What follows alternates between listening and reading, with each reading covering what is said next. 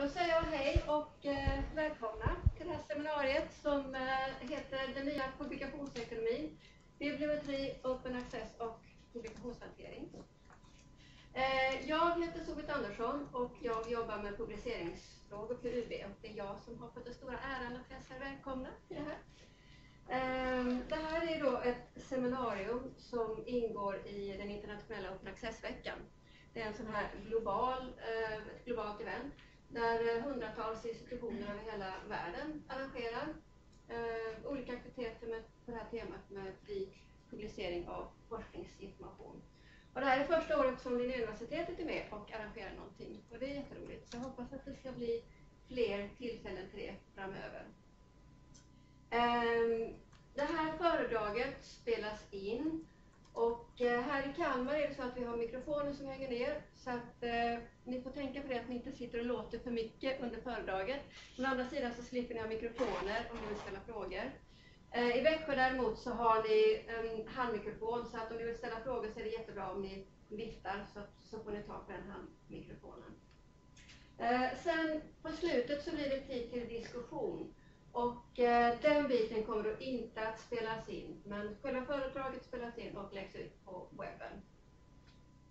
Så, nu Ulf säger jag välkommen till dig. Eh, Ulf Kronman, som eh, ja, studerar.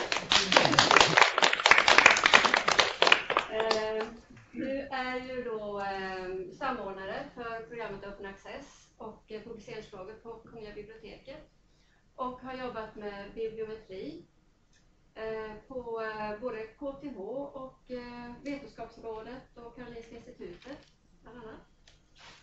Och du skulle egentligen varit här hos oss i Kalmar. Men så blev det inte. Utan tågen satte stopp på det. barnarbeten och annat gjorde det blev Växjö som blev slutdestination istället. Men det var bra att det gick att lösa på det sättet i alla fall. Så, då så lämnar jag över ordet till dig. Tack så mycket för den introduktionen. Uh, nu sa ju Solbritt allting jag hade tänkt att säga där, uh, som står på första bilden. Uh, vad jag heter och vad jag jobbar med och vad jag jobbat med tidigare. Så, så det behöver jag väl inte säga någonting mer om. jag har gjort en bild om programmet openaccess.se på Kungliga biblioteket för att visa lite grann bakgrunden. Och det är, tanken med, med programmet openaccess.se är ju att Kungliga biblioteket månar ju mycket om eh, Eh, att det ska vara fri tillgång till eh, den information som, som eh, forskare i Sverige producerar. Så att det är därför vi driver det här programmet. Då. Och vi samverkar med Vetenskapsrådet, vi samverkar med lärosätena, främst med, med universitetsbiblioteken när det gäller olika policies att driva, driva den här utvecklingen. Då, då. Och det gör vi då genom att vi delar ut projektmedel. Vi har då expert och arbetsgrupper, vi har konferenser och möten. Vi har ju en årlig konferens, Mötesplats Open Access, som kommer att hållas på Linnéuniversitetet här i Växjö 1-2 april nästa år. Eh, och så har jag då lagt upp bild på vår webbplats och blogg som vi driver. Så att vi, vi koordinerar det här i Sverige, så att säga, den här verksamheten. Nu tänkte jag visa en bild hur jag hade tänkt att lägga upp dagen. Eh, som ni hör då så har jag en blandad bakgrund. Eh, tidigare har jag jobbat med bibliometri i 7-8 år. Nu har jag arbetat med open access-frågor i ett och ett halvt år. Eh, det här är ju då olika aspekter av era forskningspublikationer som, som jag vill diskutera. Och sen vill jag sätta in det här i, lite grann i ett sammanhang. Det är därför jag kallar det eh, publikationsekonomi, den här rubriken för, för dagen så att säga. För att eh, Eh, jag ser tendenser i, i eh, forskarsamhället eller eh, styrningen av forskarsamhället som leder fram till det här med publikationsekonomi. Jag har gjort några extra bilder som jag inte har lagt upp på presentationen här men vi får se när vi kommer fram till diskussionen om vi har tid. Och om ni inte är så pigga på att diskutera så provocerar jag gärna igång er med de bilderna för det, det handlar just om, om publikationsekonomi. Vi får se om en timme om, om vi har ork och, och lust att titta på det. Eh, ja, och så har vi ju tid för diskussion men eh, jag vill väldigt gärna ha frågor under resans gång vi får försöka lösa det här med tekniken. Jag är ganska bra på att upprepa frågor och sådär så vi behöver inte springa med mikrofonen. Så. Tryck på nej. Tryck på jag tycker, jag tycker att jag hör ganska bra vad som händer i Kalmar också. Som ni hojtar så, så kan jag försöka höra vad, vad ni säger. svara på frågorna. För jag vill gärna ha frågor under resans gång så att det blir levande i lokalen. Så att. Men då kör vi. Just det, jag var här för tre år sedan och pratade om, om eh, bibliometri på den tiden jag arbetade på Vetenskapsrådet. Eh, så att eh, ni som var här då kan blunda och sova lite nu då, för nu blir det repetition. Det kan, kan vara värt att kanske repetera grundkursen i och för sig och, och lite nytt har det väl kommit in sen de här tre åren som har gått. Men jag brukar vilja börja eh, bibliometripratet med en grundkurs för, för att vi ska liksom, eh, få bort de värsta missuppfattningarna när det gäller bibliometri innan vi börjar diskutera. Eh, vad är då bibliometri? Ja, det är ingenting svårare än att det är statistiska analyser av, av publikationer. Och det behöver inte vara forskningspublikationer, det kan vara vilken typ av publikationer som helst. Till exempel så kom Kalle Anka och är 3000 nummer förra veckan. Det är bibliometri, det är också statistik på publikationer. Uh, men det är just inom forskarvärlden som, som statistiken på publikationer har blivit så het eftersom publikationer är ju så att säga ett ögonblick, vi hör inte i Kalmar. Ljudet kommer och går hela tiden. Så att eh, vi måste be tekniker. Nej, vi, nej, det är nog mer tekniskt någonting som inte stämmer. Eh, det vore jättebra när vi har sådana här sammankomster för er som organiserar de här att vi har en, en tekniker närvarande. För det var samma problem också när vi hade där Horizon 2020 va? Kan vi ha... Det låter bra. Det låter bra. Prata lite ja. Vad händer nu? Är ni... Ja, det låter bra. Perfekt. Det låter det bra. Måste jag stå still? Nej, nej, nej. nej, nej. nej. Nu hörs det bättre. Okay. Ja, det är bra. Ni får hojta igen när jag försvinner. Um, var var jag någonstans nu då? Jo, um, det, det, är statistik på publikationer. Um, och vad det handlar om är ju att man räknar produktion förstås, att man tittar på hur många som kommer ut. Eh, man kan också göra lite mer kvalitativa analyser och titta på vilken typ av publikationer publicerar man sig i. Är det böcker, är det artiklar, är det konferenstryck och, och så. Sen när det gäller kvantiteten så kan man ju då dela den på ett antal olika led där man kan komma ner ända till att titta på hur, hur många publikationer man får per krona. Jag tror att det finns någon slags sån sak i årsredovisningarna numera att man ska tala om hur mycket, mycket pengar man konsumerar och hur många publikationer man puttar ut så att säga. Ehm, det som gör att det här med publikationer har blivit så tätt, eller bibliometri då på, blivit så tätt kopplat till ehm, Eh, forskarvärlden, det är ju det här med citeringar. Det är ju någonting som är unikt för forskningspublikationer, nämligen att man refererar till varandras publikationer och så tar man det som ett mått på att man har fått uppmärksamhet i forskarsamhället. Så att säga. Eh, jag ska berätta mer om det. Och det är ju därför man så ofta kopplar ihop bibliometri med, med forskning. Eh, sen kan man då göra lite mjukare typer av analyser med, med bibliometri. Man kan titta på eh, olika typer av samverkan. Vilka publicerar sig tillsammans? Eh, vilka ämnen klassificeras tillsammans på de artiklar som kommer ut? Eh, hur citerar man varandra och så?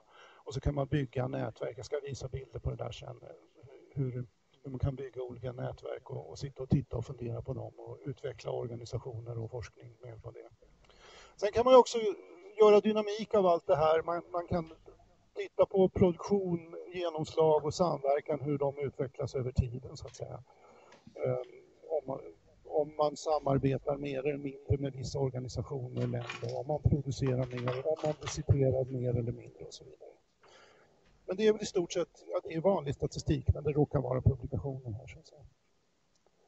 Eh, när man ska göra statistik då behöver man data.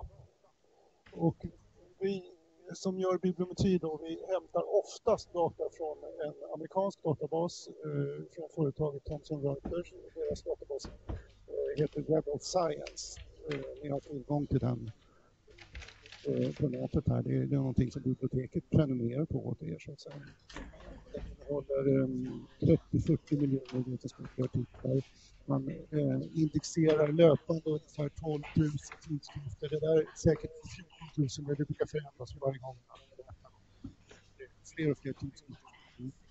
Man kan säga som beskattning att ungefär hälften av världens tidskrifter som täcker in, man brukar prata om 25 vetenskapliga tidskrifter i världen. Att det är hälften. Det är också de man brukar betrakta som de viktigaste tidskrifterna som finns. Och det som är bra med den här databasen är ju då att man kan göra citeringsanalyser i den för att har man så stora mängder publikationer så kan man titta på vilka publikationer som pekar på varandra som refererar till varandra. Där kan man få siffror på hur, hur många citeringar Sen har vi en konkurrerande produkt som är större, ett av de största vetenskapliga förlagen, LCFI, har skapat sin databas. Nu är ljudet lite dåligt igen. Ska jag stå närmare den här kanske?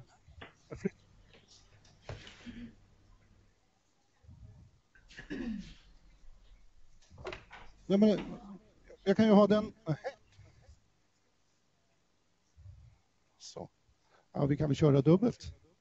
Nu då? Bättre? Ja, det låter bra. Ta bort Den den. är igång va? Nu är den igång. Ja, okej. Ja, ja.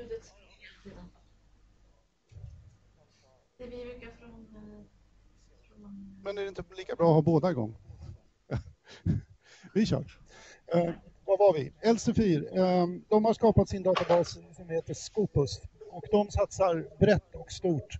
De eh, plockar in 18 000 olika tidskrifter, men de ger sig också på det här med konferensserier.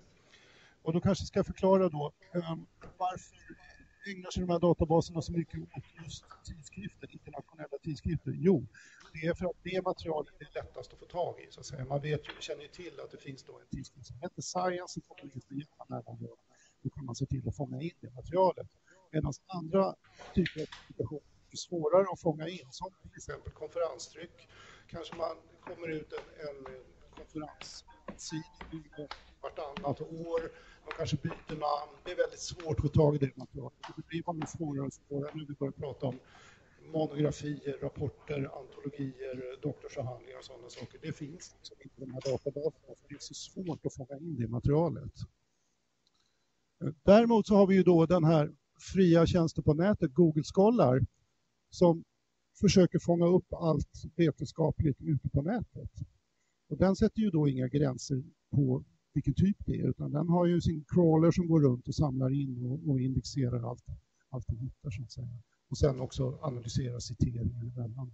Så där får man ju in andra typer av material, alltså i stort sett allt vetenskapligt man lägger ut på nätet, även rapporter, doktorsavhandlingar och sådana saker. Problemet med Google Scholar är att det, det är ingen strukturerad databas utan det är en ostrukturerad massa av, av data som man har fått in från nätet medan de här två eh, alltså Web of Science och Scopus-databaserna, det är väldigt strukturerad data, det är bearbetad data som, som man arbetar med. Nu kommer en fråga här, jättebra.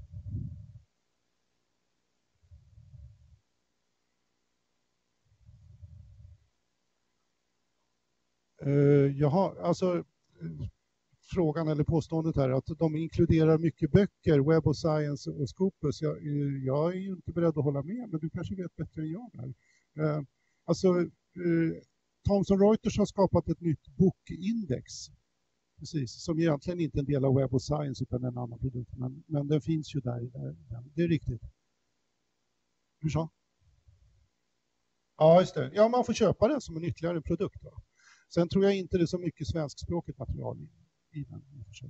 Men de, de eh, har ju förstått att det är en brist att de inte har monografier, alltså böcker i, i sina system och försöker täcka in det. Om LC4 har gjort något liknande vet jag inte. Det är så. Okej. Okay. Då så.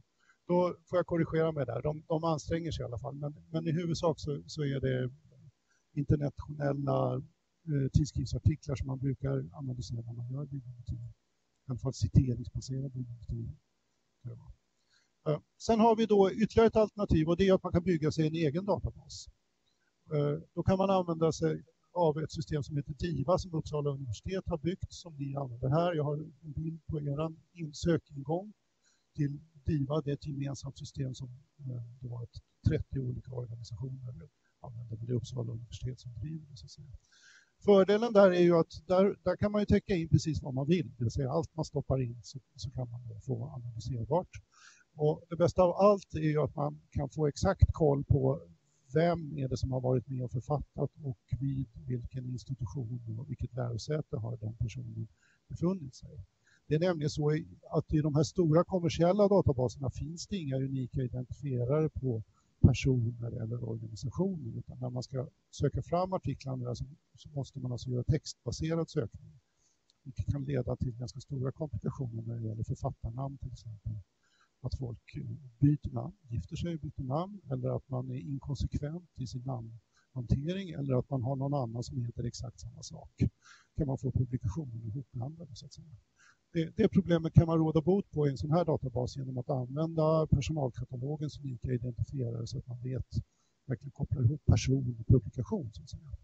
Men den stora nackdelen med en egen databas det är ju att det är en liten databas eh, och det betyder att man kan inte göra citeringsanalyser i den.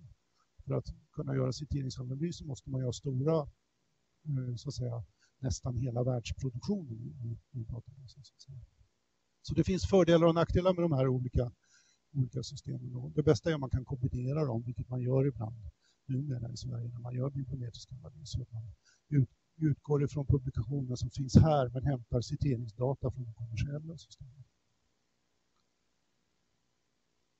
Um, då är det så här då att när man gör bibliometri med hjälp av de här kommersiella databaserna, om man säger då att de i huvudsak täcker internationella eh, vetenskapliga tidskrifter, då blir det förutsättningarna olika för olika forskningsområden beroende på hur man publicerar sig. Publicerar man sig i internationella vetenskapliga tidskrifter, då täcks man in bra.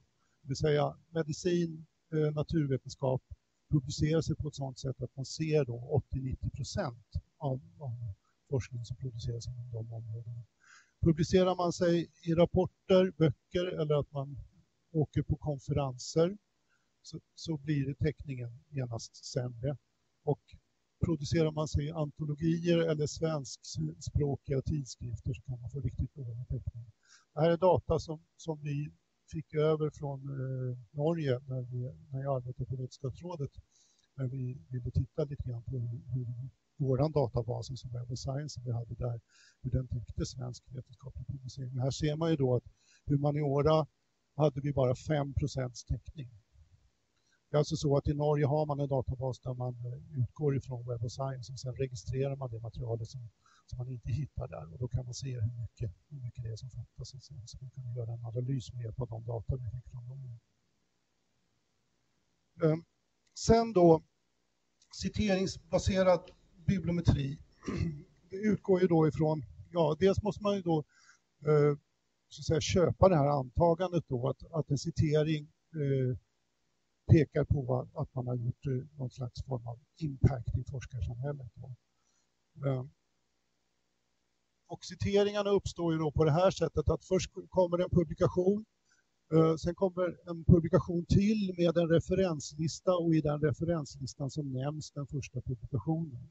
Så från den här referensen så uppstår då en citering och då säger man att den citerade artikeln har har gjort någon form av intryck i forskarsamhället. Det skulle kunna vara ett negativ, en negativ citering, att man sk alltså skriver och säger att den här, den här personen eller den här artikeln är fullständigt fel. Så, att säga. så det finns negativa system, eh, citeringar i systemet, men de ofta är fåtal och de uppvägs av de positiva citeringarna. Så att säga.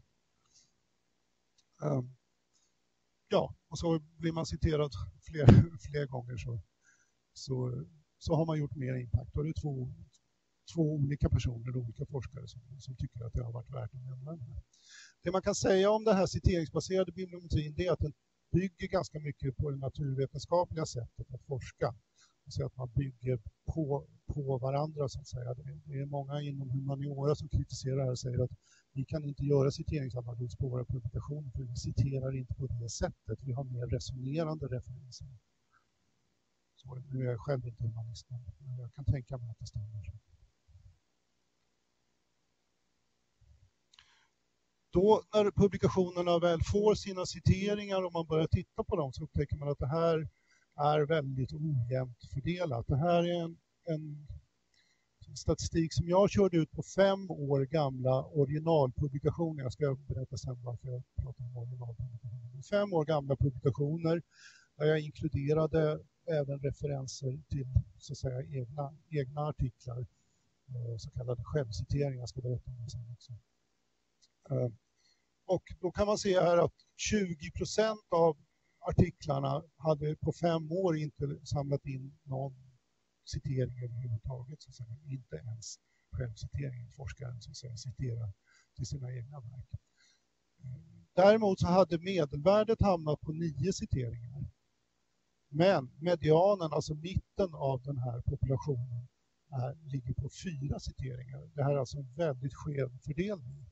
Det brukar framhållas som kritik mot bibliometrin att man egentligen inte ska använda medelvärden i sådana här skeva fördelningar för medelvärdet är ett mått som man ska använda i normalfördelning.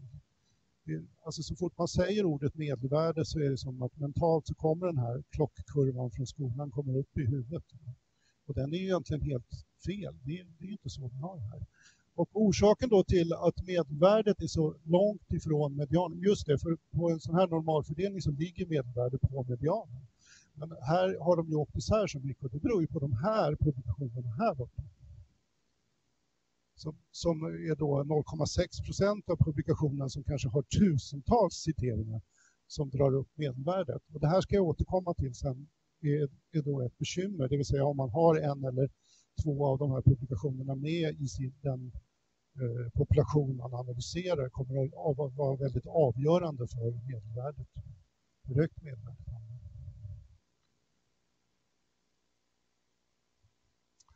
När man analyserar citeringar på publikationer så måste man tänka på eh, dels hur gamla publikationerna är, hur länge de har varit ute på marknaden så att säga en, en eh, artikel eller en publikation har ju möjlighet att samla på sig fler citeringar ju äldre den är. Så säga. Och det ser ni här då att det här är väl tio år gamla publikationer då i genomsnitt tio citeringar och så vidare.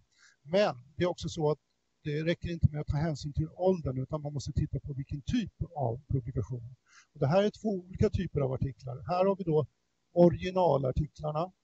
Eh, det är alltså artiklar som är skrivna, eh, att man har så att säga forskat fram ett resultat och publicerat det, man kallar det för en originalartikel. Sen har vi då den blå kurvan som är eh, översiktsartiklar, det vill säga som sammanfattar ett antal originalartiklar eller forskningsfronten inom ett område. Och den typen av artiklar är mycket mer lätt till, lättsmälta och lättillgängliga och har många fler läsare och får många fler citeringar. Ungefär två och en halv gånger så många citeringar som en originalartikel. Så att när man gör bibliometriska analyser och vill vara seriös så ska man, inte, då ska man hålla isär de här två typerna av publikationer. De ska man inte jämföra med varandra. Likadant är det med olika forskningsområden. Man har olika publiceringskulturer. Inom vissa forskningsområden så arbetar man i stora grupper av forskare, sprätter ur sig publikationer var och varannan vecka så att det kommer ut 10-20 publikationer per år.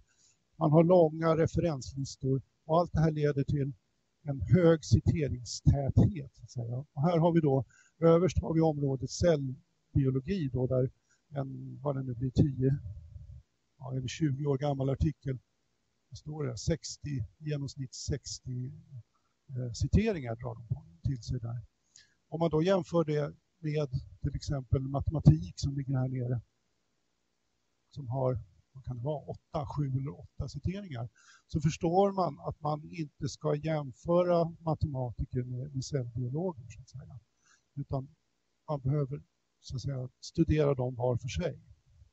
Och det här resonemanget nu med publikationstyper och tid och forskningsfält leder fram till eh, kan man säga, state of the art när det gäller citeringsanalys nämligen den fältnormerade citeringsgraden eller Field Normalized Citation Rate eller kronindikatorn som det heter efter ett eh, holländskt forskning, forskningsinstitut som hittade på den först.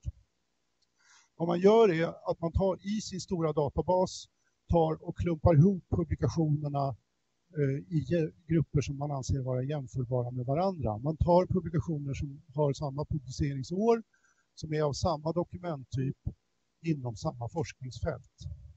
Och så tittar man då, jaha, är de här citerade fyra gånger i genomsnitt? Då säger vi att det är en referensvärde som vi ska jämföra artiklar inom det här området Så att när man sen gör en analys så, så ser man då, okej, okay, inom vilket område är den här artikeln?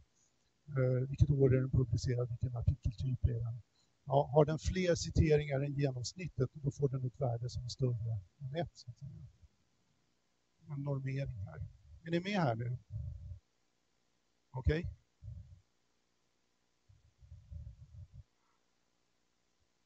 Det här är, det är viktigt, viktigt att veta då när man så att säga, får professionella bibliometriska analyser så kommer det ofta ut den här fältnormerade citeringsgraden eller kronindikatorn. Så att säga. Och då brukar den få kritik. Ja, men det kan ju inte jämföra sig och så. Jo, men de, man har ju faktiskt försökt kompensera för det. Så att säga. Det, det, kan vara bra att känna till.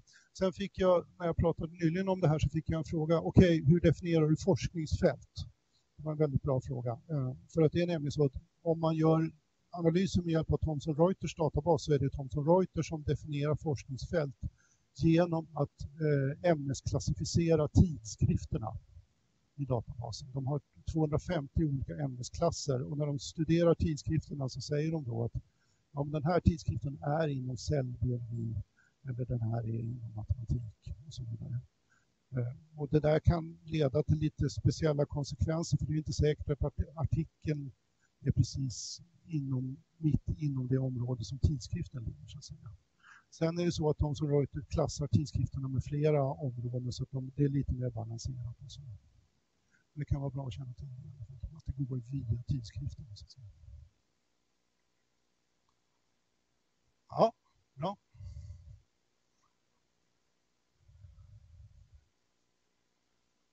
Ja.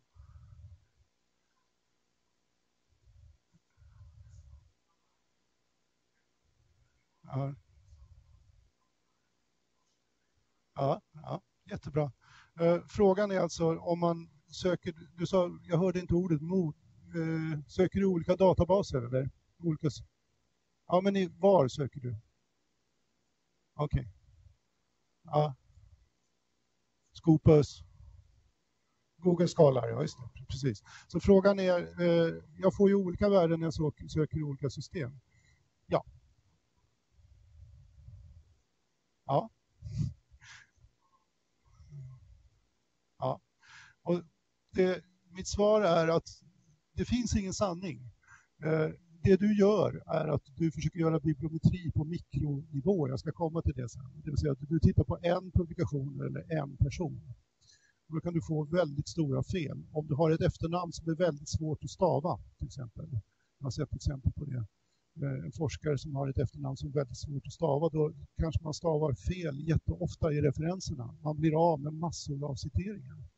Så det, det, det, som regel är det 6 eller 7 procent av citeringarna i Thomson Reuters databas som borde finnas där som inte finns där på grund av stavfel till exempel.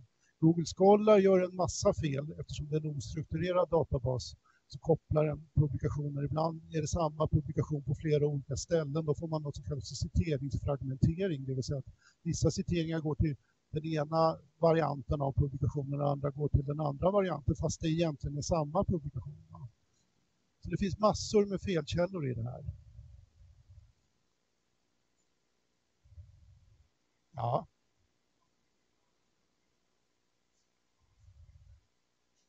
Ja, ja.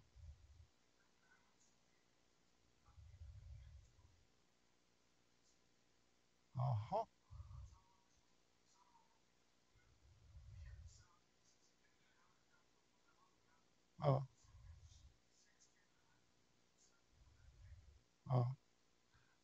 Men ja, alltså det, det, de här databaserna innehåller stora fel på individ och publikationsnivå. Och, och mitt svar här är att när man gör bibliometri som fungerar då arbetar man inte nere på individ och publikationsnivå utan då arbetar man på högre aggregationsnivåer där sådana här fel har en tendens att jämna ut sig.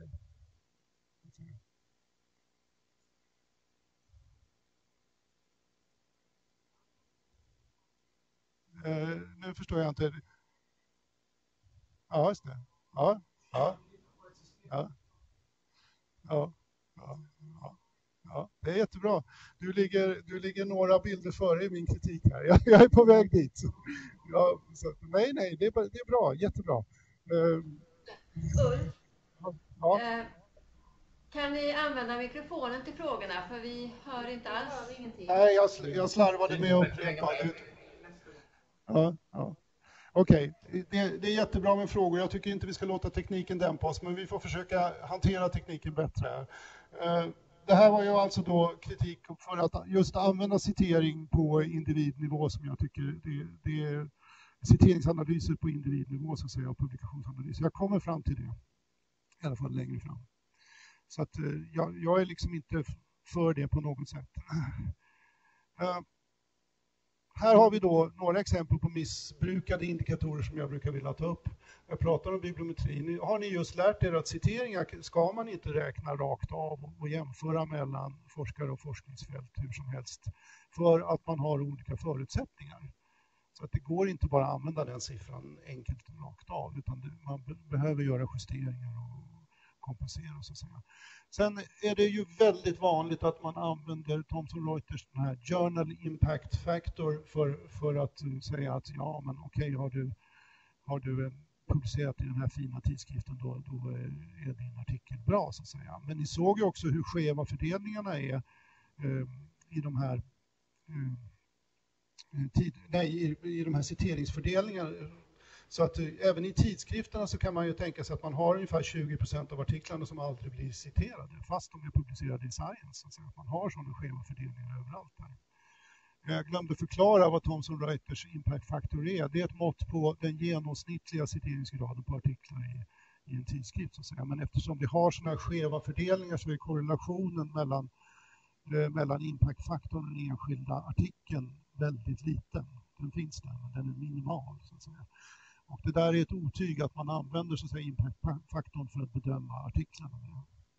Däremot, den är byggd ursprungligen den indikatorn för att bedöma tidskrifterna, nämligen hur, hur mycket når den här tidskriften ut. Så, att säga. så det var egentligen ursprungligen ett redskap för bibliotekarier som sen har blivit så missbrukat. Sen vet jag inte om ni har hört talas om den här nya indikatorn H-index.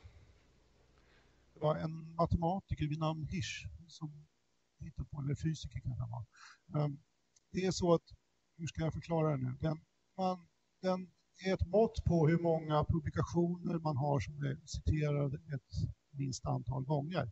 Jag till exempel, när jag tittar i Google Scholar på mig själv så ser jag att jag har H-index 3. Vad betyder det? Jo, jag har tre stycken publikationer som är citerade tre gånger eller fler. Och den är lite finurlig den där indikatorn då för att man, det räcker inte med att ha en högciterad publikation för då får man bara H-index 1. Det räcker inte med att ha 100 publikationer som är citerade två gånger för då får man bara H-index 2. Utan man måste ha publikationer och man måste ha citeringar. Man måste ha volym och impact så att säga. Så den är lite finurlig på det sättet. Men den har ju bekymmer för det finns ingen justering för olika forskningsfält. Det vill säga H-index för en matematiker och H-index för en cellbiolog. Inte bra att jämföra. Eh, seniora forskare gynnas ju förstås av H-index, det vill säga att man håller på längre så har man haft sina publikationer, större chans att publicera fler publikationer, större chans att få dem citerade så att säga. Så att det gynnar de som håller på längre. Det finns ingen kompensation för samförfattande, det vill säga om jag ingår i ett kollektiv med hundra författare som sprätter ur sig Eh, tio publikationer per, per år så att säga och de råkar bli väl citerade också, då åker jag ju snorkurs. Jag kanske bara är en av dem i, i mitten av hopen som inte gör så mycket så att säga. Ändå får jag högt så att säga, gratis av de andra. Så tänk på det. Samtidigt som man, ja, man kan tycka att H-index säger någonting just på grund av att man måste ha producerat en viss volym och den måste ha gjort ett visst impact. Eh, jag avrundar grundkursen här med, med, lite mjukare bibliometri. Jag sa, pratade ju om det här med nätverk, att man visualiserar relationer. Alltså det här är då ett fult nätverk som jag gjorde över eh, relationer mellan, mellan några olika forskare. Det är inte det är bara ett exempel på det. Man kan jobba med det här så kan man sitta och titta på det och fundera hur jobbar de här forskarna. Jag vet bland annat på Karolinska institutet så ville man bygga upp olika forskningsnätverk in, inom olika områden. Det var ingen som visste vem som forskade inom vilket område. Man blev tvungen att vända sig till bibliometrikerna på Karolinska institutet för att ta reda på vilka som jobbade med varandra inom samma organisation. Så, så kan den faktiskt vara bra. Man kan också se andra intressanta saker. Om man analyserar en institution så kan man plötsligt upptäcka öar av forskare som inte samarbetar med varandra och sådana här saker. Och då kan man diskutera om är det här en institution eller två institutioner och så vidare.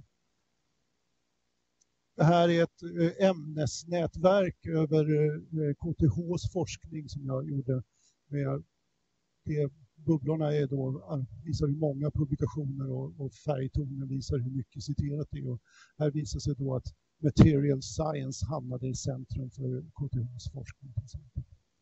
Så sånt där kan man också hålla på med. Man behöver inte bara räkna liksom, eh, publikationer och citeringar och fördela pengar på det.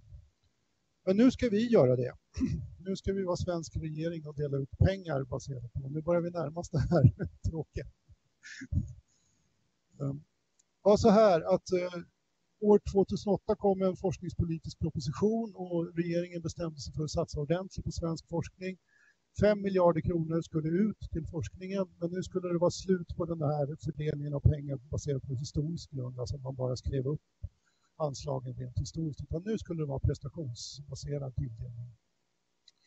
Det man gjorde var att man sa att 10 procent ska bli fördelade i konkurrens. Eh, 5 procent baserat på hur, hur mycket projektmedel man drog in så att säga från Vetenskapsrådet, från Vinnova och så vidare. Var man duktig på att ta in pengar där så räknade man med att man hade gjort det i konkurrens och att det var någon kvalitetsgranskning. Då fick man basmedel också. Eh, den andra 5 procenten skulle fördelas baserat på publikationer och citeringar. Och det gick, uppdraget gick då till Vetenskapsrådet att räkna ut hur, hur svenska lärosäten hade producerat sig och citerades. Eh, man använde då en indikator som baserade sig på då antal publikationer gånger hur många gånger de hade citerats. De här publikationerna. Man använde just den här fältnormerade citeringsgraden som jag beskrev tidigare, så man kompenserade för olika, olikheter mellan forskningsfälten när det gällde citeringar. Sen var det lite svårt att kompensera för olikheter när det gällde produktion och sådana saker. Men det fanns också med där. Eh, vad som är intressant att notera här är ju då att för den som kan lite matematik så står det ett gångertecken där då och det betyder att om en publikation hade noll citeringar så blir det liksom ett gånger noll lika med noll. Det vill säga en publikation som inte hade någon citering, den fanns inte överhuvudtaget. Och citeringarna skulle ju mätas i Thomson Reuters databas, det vill säga en publikation som inte fanns i Thomson Reuters databas, den fanns inte heller.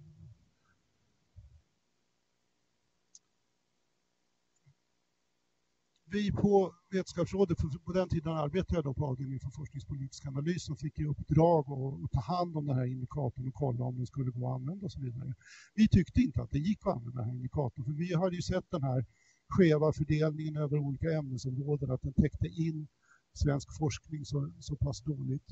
Eh, vi laborerade som 17 och tog fram en egen modell som vi då skämtsamt kallade SEK per pek, det vill säga hur, hur många kronor hade forskning kostat inom olika områden och hur många publikationer kom, kom ut så att säga och så, så rattade vi runt det där. Det var väl kanske inte heller världens bäst, bästa, bästa modell, men den var lite bättre tyckte vi i alla fall.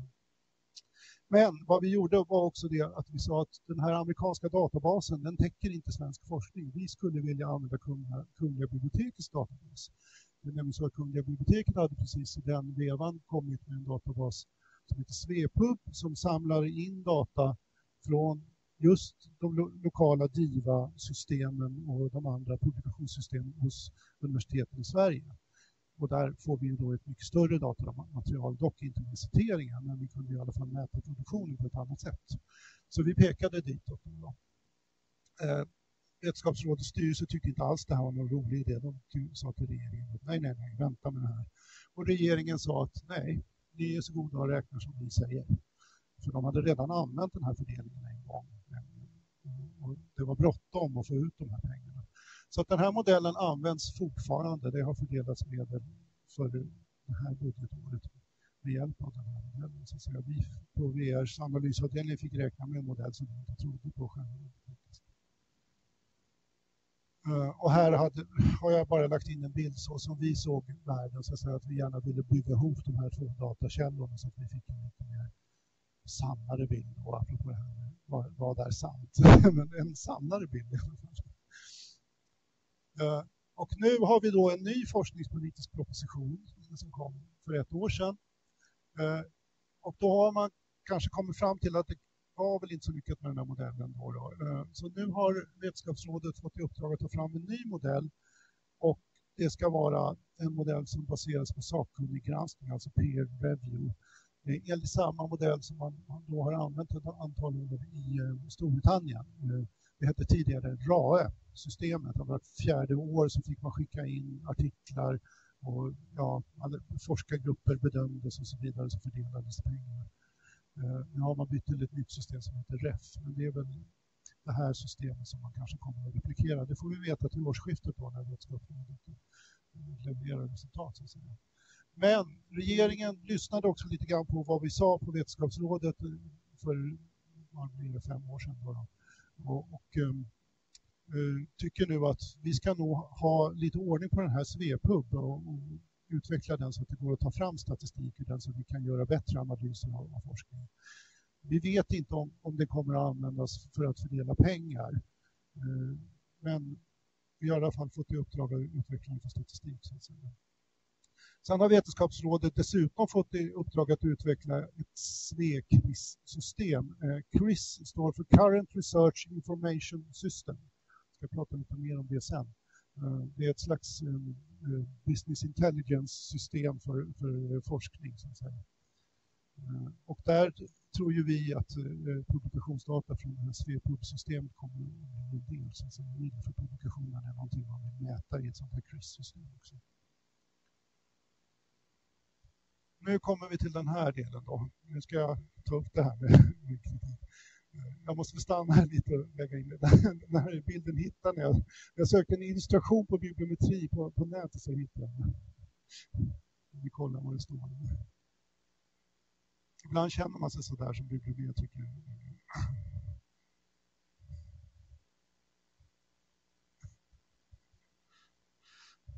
Det blir lite cirkelgång så att säga Eh, i, logiken. Eh, hoppas ni ser det här i Kalmar också.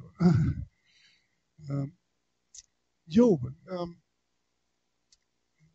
jag sa ju tidigare att när man gör citeringsbaserad bibliometri så, så, så är ju medelvärdet väldigt mycket skapat av de här få, få högciterade. Och om de är med i populationen eller inte är väldigt avgörande för vad man får för medelvärde. Och det här blir ju så att säga mer och mer tydligt ju mindre den här gruppen av publikationer är. Nämligen om det trillar in en publikation med tusentals citeringar i en liten grupp så åker medelvärdet upp så att säga. Har man en större grupp så blir, blir det så att säga mer äh, stabilitet i det hela. Äh, när jag arbetade på Vetenskapsrådet så gjorde jag en, en studie som jag aldrig publicerade, för jag hade inte tid att göra det, men där jag försökte hitta Eh, korrelationen mellan storleken på, på eh, publikationsmängden man analyserade och bruset i den, hur mycket värdena rörde sig fram och tillbaka. Vi gjorde alltså slumpurval av publikationer i den här databasen. Och det, detaljerna är inte viktiga här utan det är de generella dragen här att det är en logaritmisk skala här med hur många publikationer man analyserar och det här är då hur stort felet blir. Om man ser att om man analyserar tio publikationer, det här är då den fältnormerade citeringsgraden som har räknats ut här. Om man analyserar tio publikationer så har man ett brusmarginal som är lika stor som själva mätvärdet. Det vill säga att det, värdet betyder i stort sett ingenting. Det, där, det här vill, vill jag visa på att man inte ska leverera bibliometri nere på den här nivån för att det finns så stora slumpmässigheter i, i materialet så att säga. När man kommer upp till, till 100 publikationer, ja då har man ungefär 20 procents felmarginal. Det är först när man kommer upp till tusentals publikationer som man, som man är nere på, på en 10-procentig eh, fel, felmarginal eller brusmarginal. Så att säga.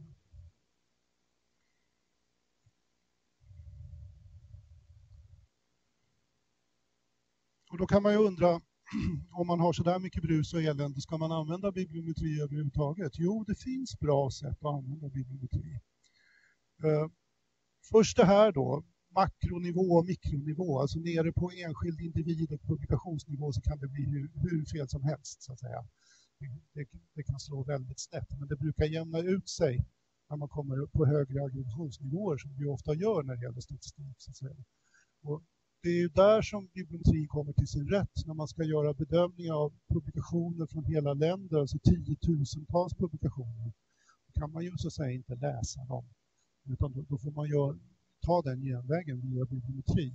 Däremot ska man bedöma en enskild en eller två publikationer, då är det ju naturligtvis bättre att man läser dem och kollar om, om de är bra i den mån man förstår dem så att säga, och inte använder statistik.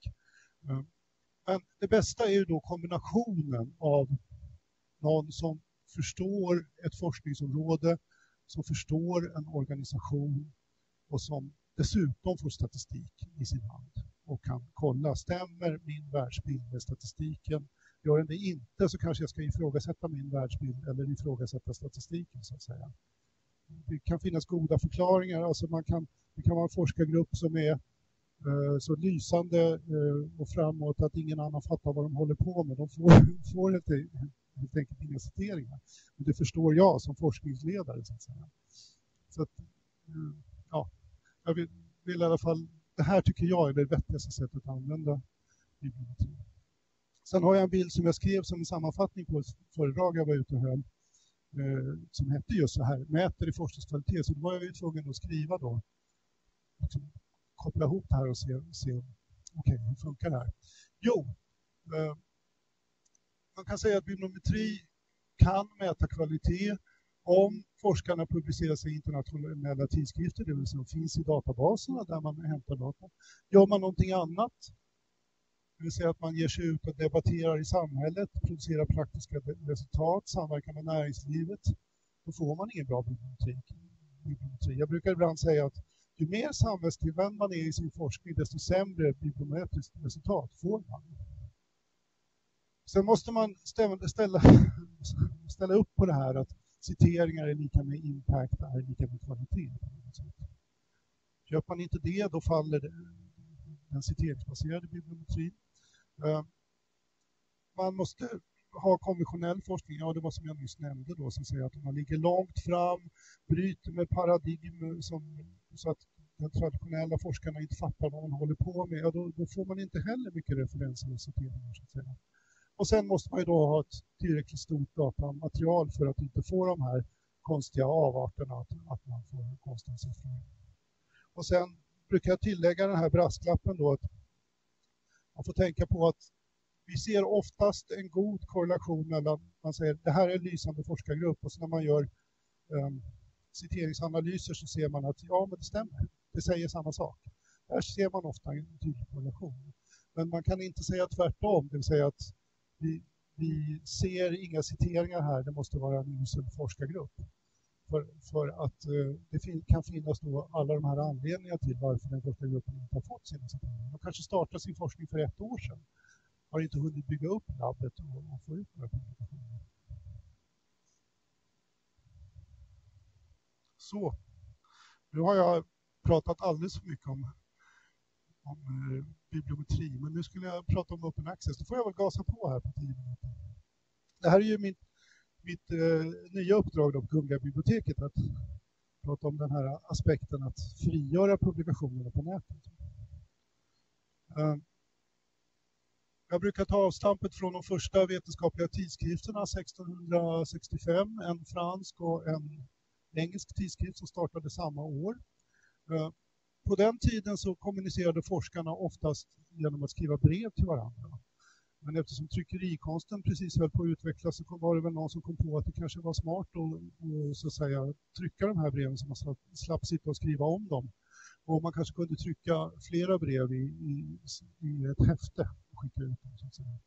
Och där kändes det ju som att forskningen och tryckkonsten levde i en god symbios. Så att säga. Man, forskarna ville ju inte ha någonting betalt för att sprida sina, eh, sina vetenskapliga rön. Um, men eh, man förstod ju att den som så att säga, tryckte och distribuerade pappret behövde ju få täckning av sina kostnader. Så det blev en ganska god växelverkan. Man utnyttjade tryckerierna så att säga. Sen kom ju då eh, förlagen in i bilden och och och eh, det började komma fler och fler tidskrifter. De började bli allt mer renodlade. Man fick ehm, så att säga, det blev eh, status att publicera sig i rätt tidskrift och då växte det fram en, en lite konstig ekonomi kring det här. För att förlagen så att säga ehm, betalar ju inte forskarna för materialet. Man betalar sällan redaktörerna, man betalar inte de som sakkunniggranskar. Ändå har man nästan en monopolsituation på den produkt som kommer fram. Om man har en tidskrift som heter Science eller Lancet eller Nature så kan man ta ganska så mycket betalt för den i slutändan. Så det blev en liten konstig marknad. Jag har gjort en bild på det här, hur jag ser på hur den här så att säga, produktifieringen av forskningen uppstår. Eh, vi har ett universitet med forskare och bibliotek. Eh, forskaren får betalt, ja, biblioteket får pengar för, för att sköta sin drift. Forskaren startar ett projekt. Det händer väl ganska ofta då att det räcker så att säga inte med pengarna man fått från universitetet för att, för att eh, driva det projektet. Man vänder sig till en forskningsfinansiär för att få in pengar för att driva projektet framåt. Så forskar man ett par år, tre år kanske, och så får man fram ett resultat som man vill sprida till andra, men man vill också få bekräftat att man faktiskt har gjort rätt, så att säga, att det är sund forskning och att det är ett resultat. Vad gör man då? Jo, man vänder sig till en tidskrift eller ett förlag och säger att nu vill jag att ni ska kolla att det här är bra forskning eh, Tidskriften har då oftast en vetenskaplig redaktör som är en forskare som gör det här i sin tjänst. Så att säga. Som tittar på manuset som har kommit in. Eh, är det här någonting som ligger i linje med vår tidskrift? Ser det ut som det skulle kunna vara publiceringsbart? Ja, i sådana fall skickar redaktören ut det här på sakkunniggranskning då till ett par, tre olika forskare, men ofta två, två olika sakkunniggranskare, alltså peer reviewers. Eh, sen så kan det då pågå en process här där granskarna skickar tillbaks resultat, redaktionen skickar tillbaks eh, manuset till eh, forskaren som driver projektet och så får man hålla på att köra runt de här gångerna. I värsta fall får man göra nya experiment för att för att få fram tillräckligt för att det ska vara publiceringsbart. Men om man i den här processen till slut kommer till en situation där eh, redaktören säger ja, det här är publiceringsbart. Så att säga. Vi, vi vill publicera det här, men nu vill vi ha betalt för det här arbetet som har utförts, utförts på redaktionen. Och det vill vi ha genom att vi vill ha din copyright. Jag vet inte om ni har sett det här. Det kommer ett papper och det står Congratulations, your manuscript bla bla bla has been approved. Please sign here. Uh, copyright transfer agreement brukar det ofta kallas för.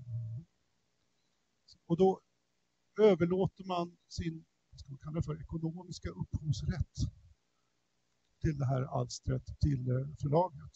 Och vad som händer då är att, att det så att säga blir en produkt som kan säljas, för då tog förlaget över den ekonomiska upphovsrätten. Den ideella upphovsrätten kan man aldrig lämna ifrån sig, alltså den att man har rätt att bli nämnd som verkets skapare och författare. Men däremot den ekonomiska upphovsrätten kan man lämna. Ja, då har vi fått en produkt inlåst där. Eh, hur ska man nu kunna läsa det här? Ja, ja då om forskaren här vill läsa sin egen artikel så brukar det oftast gå bra. Så att säga. Man får ju rätt att sprida 50 ex av den och man får den i pdf-form som man har i sin egen. Men om man vill läsa andra forskares publikationer i samma tidskrift, då får man inte det. Med mindre än att biblioteket prenumererar betalar en prenumeration till den här tidskriften. Och här kan man då säga att det är rätt så stora pengar som snurrar runt här Eh, Karolinska institutet har en mediebudget på ungefär 30 miljoner kronor per år för de här tidskrifterna. Det finns vissa tidskrifter som kostar runt en kvarts miljon per år att prenumerera på. Men ibland är det så att forskaren som vill läsa överhuvudtaget inte ser det här penningflödet utan tror att tidskriften ligger fritt på internet. Så att säga. Det är därför jag ritar en streckad på men vi har i alla fall ett penningflöde där. Eh, sen blir det lite bekymmer då för forskare i andra organisationer. Antingen så får, får de också ha en stor penningbytta som, som åker in via prenumerationer eller så får man köpa artiklarna styckevis när man vill forska. Eh, arbetar man på ett företag eller en myndighet så är det nästan ännu värre för det är ännu dyrare att prenumerera. Eh, om man är en intresserad allmänhet som vill ta del av det här så är det ofta så att man inte vill betala de här eh, det brukar vara 20-30 dollar för en artikel innan man vet om den läser Så det här är min syn på det prenumerationsbaserade eh, publikationssystemet. Så att säga. Jag har en motsvarande bild för Open Access. Men först ska vi ta och titta lite grann på vad, vad menas då med Open Access. Det här är då den enkla definitionen. Vi vill att de vetenskapliga publikationerna som produceras ska ligga fritt tillgängliga för alla på internet. Men man ska ta hänsyn till den ideella upphovsrätten. Det är alltså inte fildelning där man stjäl saker från varandra. Utan, utan man ska ju veta vem det är som är författare. Men vi vill att man ska ha möjlighet att använda materialet. Eh, det finns en lite mer omfattande definition som är lite över tio år gammal. Då, då. Men den säger i princip samma sak. Säga, den ska vara fritt tillgänglig, man ska göra ett, kunna göra ett antal saker med den och man, man ska eh, ta hänsyn till upphovsrätten. så att säga. Bland alla de här sakerna man kan göra då så, så är ju naturligtvis det här att läsa är ju det viktigaste, men det stannar inte där. Utan det, det, det är så att man vill också kunna ha möjligheten att samla in publikationer och lägga dem i stora databaser, göra textmining på dem för att kunna ta fram nya samband som man inte, man kan använda alltså datateknik för, och statistik för att ta fram nya samband. Um, man vill ha möjlighet att använda den, publikationerna i undervisningen, man vill eh, kunna översätta dem, man vill kunna bearbeta dem och göra andra saker med dem. Så när vi pratar om open access så finns det olika grader av öppenhet i, eller frihet som jag skrivit i open access här då. Dels har, har vi det som man kallar för gratis OHA och det handlar liksom bara om att artikeln ska ligga fritt, fritt tillgänglig för att läsa. Men så får man inte göra något mer med den så att säga. Sen har man det som man kallar för libre OHA och då försöker man ta bort hinder för återanvändning på olika sätt, alltså alla de här andra delarna. Och här finns det ju några, några som har arbetat med, med eh, open source-programvara och licensiering och eh, eh, har tänkt mycket på det här och det är Creative Commons. De har en, en uppsättning olika licenser som är byggda på den principen att grundlicensen betyder att allting är tillåtet och sen kan man lägga på olika begränsningar. På, på, det här är då den allra minsta begränsningen, C, alltså CC för Creative Commons och BY för, för att man talar om vem, vem har gjort det här helt enkelt, CC BY. Så kan man lägga på NC, No Commercial, du får inte använda den här kommersiellt. Du kan lägga på ND för No Derivatives. Eh, ja, så finns det lite andra saker också. Eh, det jag ska säga också är att, att eh, det känns som att de flesta är överens om att denna typ av open access vill vi ha och den är bra. Här är vi inte hemma än, för folk brukar bli rätt nervösa, forskare och förlag, när, när man säger att ja, artiklarna ska kunna återanvändas till och med kommersiellt. För det finns alltså exempel på open access-publikationer som buntas ihop och säljs faktiskt vilket är helt okej. Okay. Om man har den typen av licens på sin publikation så kan någon annan ta den och sälja den. Faktiskt. Och då brukar man lägga till den där NC. Och då kan, får man också lite bekymmer för att ibland så eh, definieras eh, undervisning som en kommersiell aktivitet. Och då får man inte använda publikationer i undervisningen.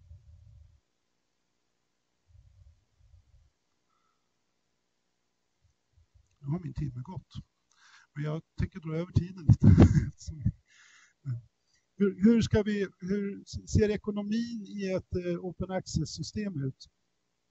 Jo, vi har ju, det ser ut som förut nu då, med, med forskare med projektet eh, och så vidare som har producerat ett manus och så. Men det som är nytt här då är att forskarna har fått pengar från forskningsråd som ställer krav på open access, till exempel Vetenskapsrådet i Sverige, säger att Ja, visst, du får de här pengarna av oss, men det som kommer ut av den här forskningen ska vara fritt tillgängligt för alla att läsa på internet.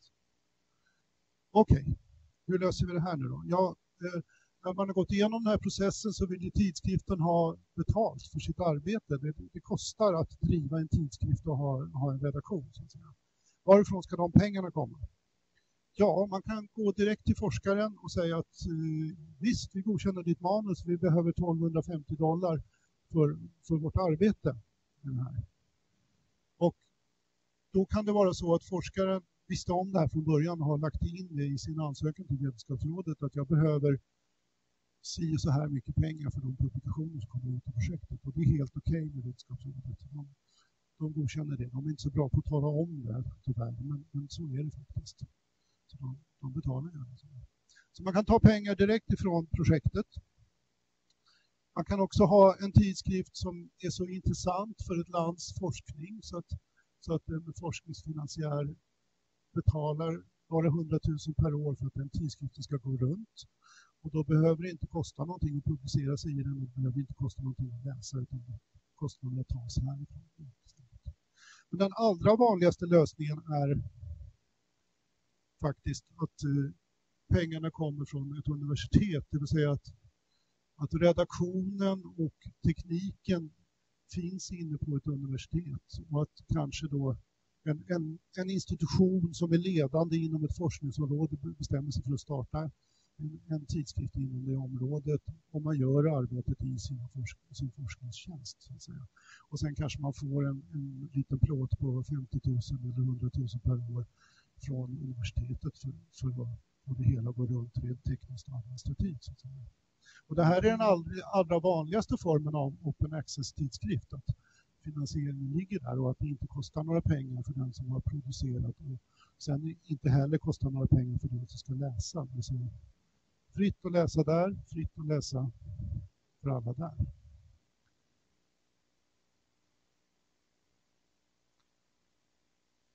Mm. Hur mycket tid får jag ta? Ja, nu kommer...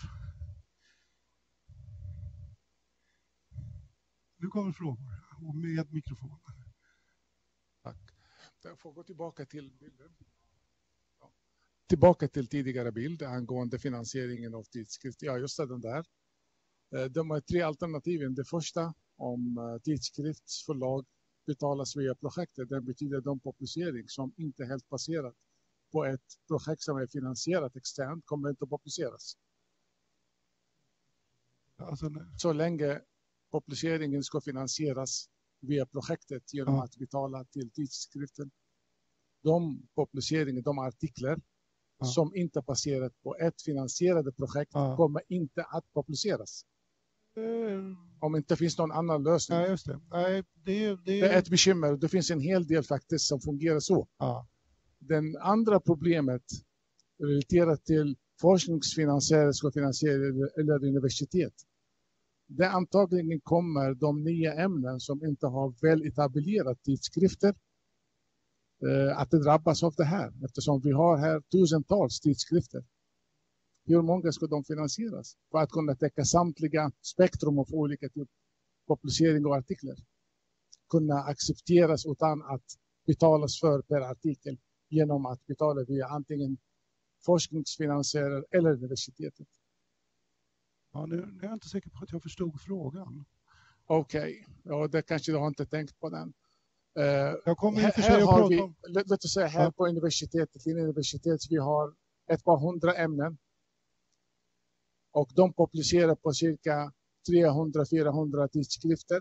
Ja. Samtliga tidskrifter ska finansieras av universitetet så att forskarna här kan publicera sina artiklar. Ja, ja, men det behöver ju inte vara just det här universitetet som finansierar alla tidskrifterna utan, utan det, det finns ju så att säga olika... Aha. Alltså man, det jag menade var att om man, om man har en, en framstående forskargrupp här på Linnéuniversitetet inom ett område så kan det tänkas att de bestämmer sig för att vi vill starta en tidskrift, vi vill få ut vårt material så att säga. Men sen, sen kan man ju publicera i tidskrifter som ligger på andra universitet så att säga som, har, som är finansierat av ett annat universitet också. Så allt, det här behöver inte vara samma universitet. Utan det kan ju vara många universitet runt om i världen som, som driver tidskrifterna. Okej, okay, men eh, ja, ja. Det, men, men fortfarande det blir det den stora och mindre eh, ämnen och små ämnen eh, och nya forskningsrön kommer att drabbas.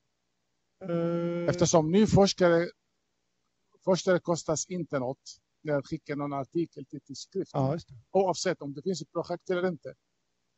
Nu kommer att lyftas ja, till ja. annorlunda nivå. Ja.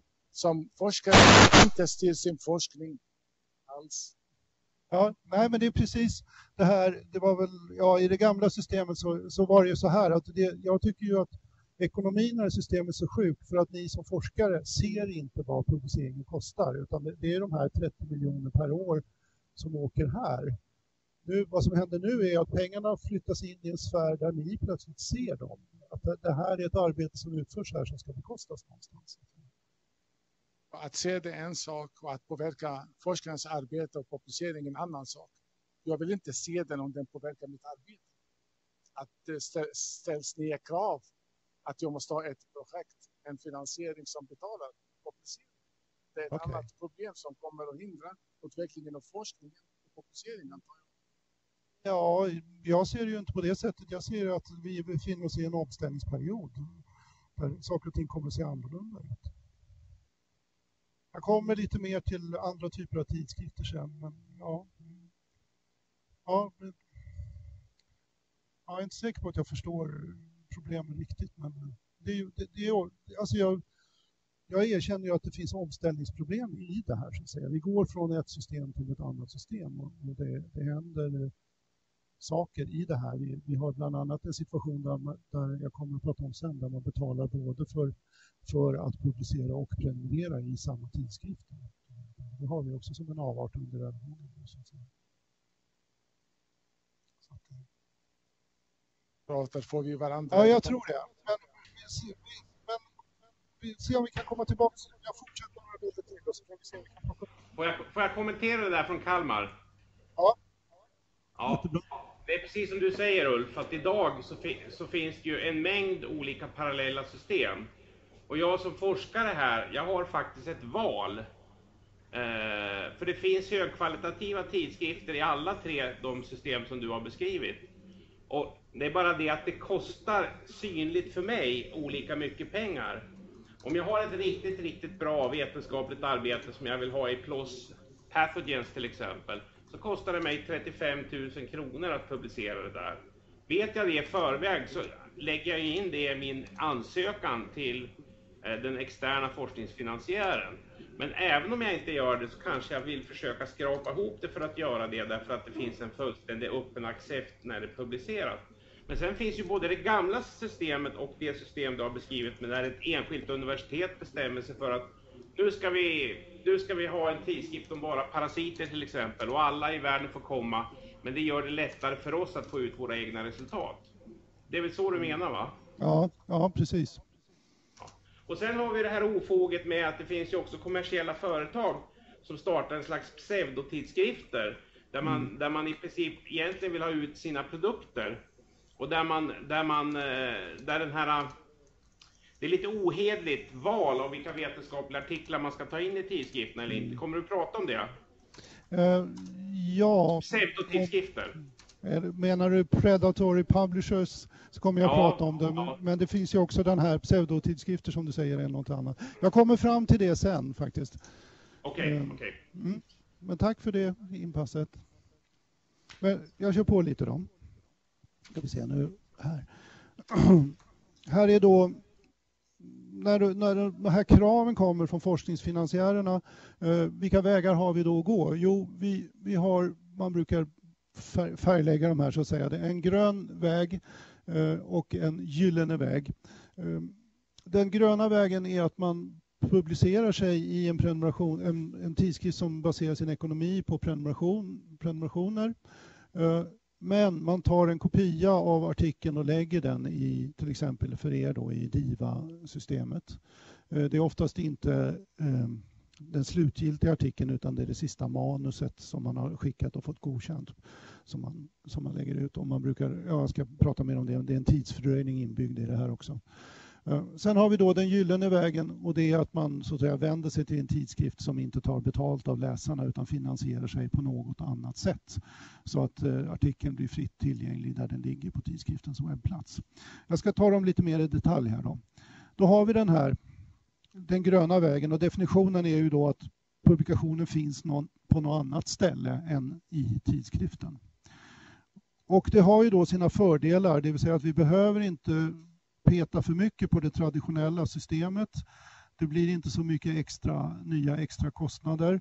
Eh, har man då ett repositorium eller ett öppet arkiv som ni har, DIVA, där kan, det kan man också utnyttja till andra saker, nämligen rapporter, eh, ja, doktorsavhandlingar och sånt, så man sprider material som inte, inte finns i det traditionella publiceringssystemet. Så att säga. Vad har det då för nackdelar? Eh, ja, det är oftast biblioteket som, som jobbar med sådana här DIVA-system eller öppna arkiv. De gör en hel del arbete där, men för er forskare är det också ett arbete att lägga in saker och kontrollera saker där eh, i, i det här systemet, så det blir jobb. Sen är det så då att tidskrifterna har, vill oftast eh, ha en, ensamrätt på artiklarna i, i ett antal månader. Det brukar man kalla för ett embargo. De säger att du får lägga ut det här fritt på nätet men du får vänta 12 månader eller 6 månader. Många tidskrifter tillåter att man gör det här direkt. Bland annat det största vetenskapliga förlaget Elsevier tillåter att man lägger ut en, en, sitt manus direkt. Eh, men det var jag sa manus där också, det är alltså inte den snygga slutliga layoutade versionen av artikeln man får lägga ut. Det är alltså inte den pdf ni får av förlaget som ni får trycka in där, utan det är ert sista manus, det som har blivit godkänt för publicering. Så då måste man ju också hålla reda på vilket det var faktiskt och behålla det så att man kan få in det i den här databasen. Så det är ju en nackdel. Sen ser vi ju att det här är ju inte en långsiktigt hållbar lösning för att om, om vi hade 100% grön open access då skulle det bli tufft att sälja tidskrifter för en kvarts miljon kronor per år. Då, det håller liksom inte. Så att eh, det här är ett övergångstillstånd så att säga. Eh, och sen nu när ni har lärt er det här om gratis och libre, vi, vi kan alltså se till att det vetenskapliga materialet i manuset blir gratis OA. Men, men tidskrifterna brukar sällan vilja släppa loss det här att man kan återanvända det och göra mer saker. Så, att säga. så där kör man ju också fast lite. Går man istället till den gyllene vägen så är i alla fall min definition här, och jag tror att de flesta instämmer där, det handlar om att, att artikeln ligger fritt tillgänglig på tidskriftens egen webbplats.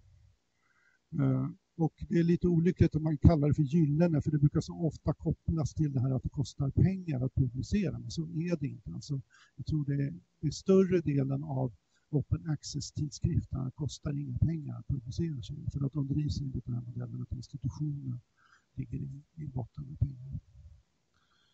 Och vad har vi då fördelen? Ja, det är ju att vi får den slutgiltiga artikeln. Eh, det känns som en långsiktig lösning. Det är inget embargo. Vi kan göra artikeln fri för återanvändning. Alltså vi har en CC BY-licens, att vi har Libre olagar så att säga. Så förutsättningar för det finns. Sen är det en hel del bromsar bland förlagen för att de är oroliga just för den kommersiella återanvändningen. Och så. Men vad är nackdelarna då? Ja, det bör, då börjar det ju dyka upp pengar i systemet som ni inte har behövt titta på tidigare. Så att säga.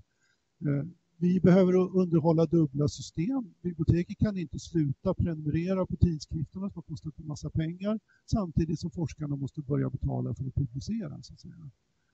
Ehm, också det här med om man bedriver forskning som inte har pengar från en forskningsfinansiär men, men universitetet har ett krav på open access-publicering, varifrån ska pengarna komma? Så att säga.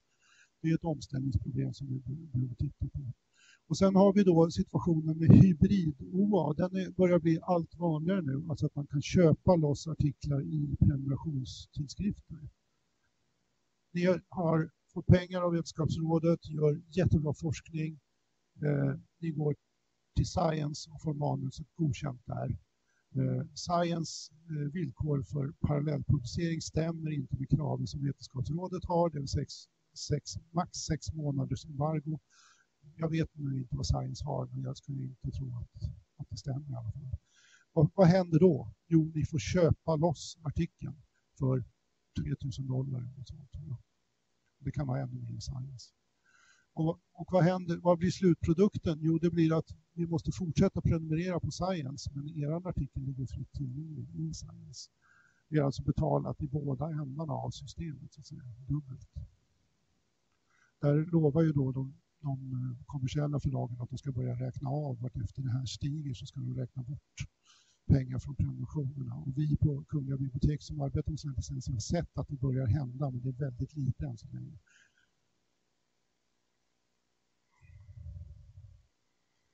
Ehm, ja, och sen är det så här då att eh, det brer ut sig det här med open access. Eh, alla stora svenska forskningsfinansiärer utom Vinnova ehm, kräver då open access-publicering. Jag tror att Vinnova är lite bekymrade för det här med patent och sånt, vilket de inte borde vara. Jag ska prata med dem om det. Ehm, Mm. EU är ju helt för open access. Man anser att det är väldigt, väldigt viktigt för att forskningen ska kunna gå vidare, att vi ska få, få utdelning så mycket som möjligt av de pengar vi stoppar in i forskning. Och har uppdraget till, till nationerna att utforma riktlinjer. Då. Mm. Och där har den svenska regeringen gett Vetenskapsrådet i uppdrag att samordna forskningsfinansiärerna i Sverige.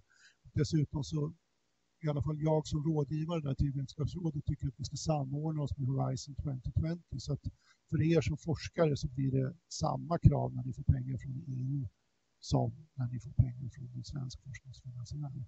Och det, det som det ser ut att vara just nu det, det är att det blir eh, sex, alltså inom sex månader från att man har publicerat så, så, så ska artikeln finnas fritt tillgänglig. Alltså sex månader som Forskar man inom samhällsvetenskap och humaniora där så att säga, omsättningstiden på forskningen är långsammare än inom hard sciences, alltså naturvetenskap och medicin, så, så är det tillåtet med en embargotid på 12 månader.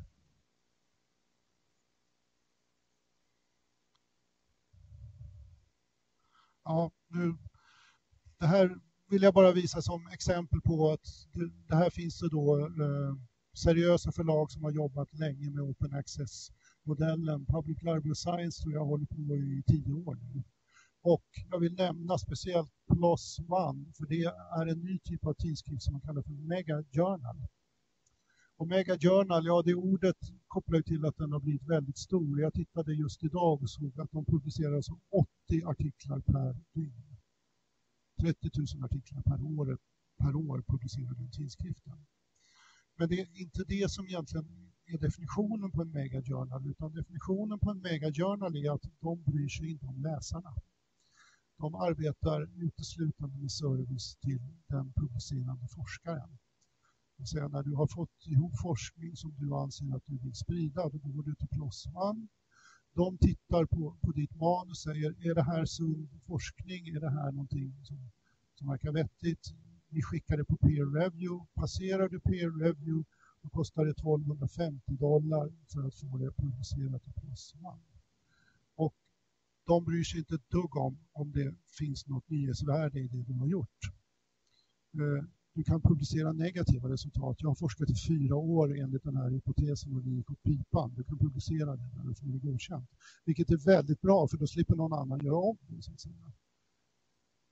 Och jag tycker att här börjar jag känna framtiden för vetenskaplig publicering. Så att, säga. att man plockar isär den här konstiga sammanväxningen av, av, service till författaren och läsaren som vi har i de gamla pappersbaserade tidskrifterna. Här tar man så att säga, steget eller konsekvenserna av internet fullt ut. Så att, säga. att man säger att ja, men vi struntar i om det är någon som vill läsa det här. Det får de själva avgöra. Utan vi bedömer bara om det här är sin forskning. Och så publicerar vi det. Det finns en eh, ny innovativ variant på samma sak eh, som heter PeerJ. Eh, den arbetar mer som en community. Eh, man kan bli livstidsmedlem för 99 dollar och få rätt att publicera en artikel per år utan att betala några ytterligare pengar. Under förutsättning att man deltar och reviewar minst en artikel per år.